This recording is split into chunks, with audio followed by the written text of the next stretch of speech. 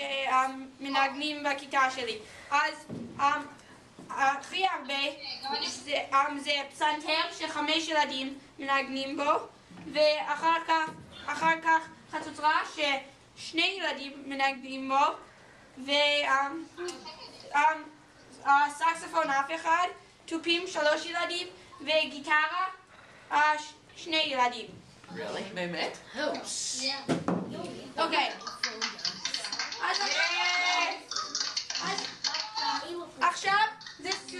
מוזיקה שכיתתי אוהב. זה שני ילדים מוזיקה קלאסית, שמונה ילדים מוזיקה פופולרית, ילד אחד ג'אז, שלושה ילדים רוק, שני ילדים מוזיקה יהודי וילד אחד מוזיקה עממית. עממית. עממית.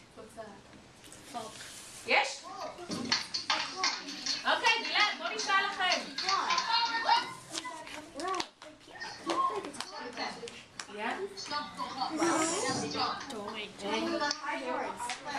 What?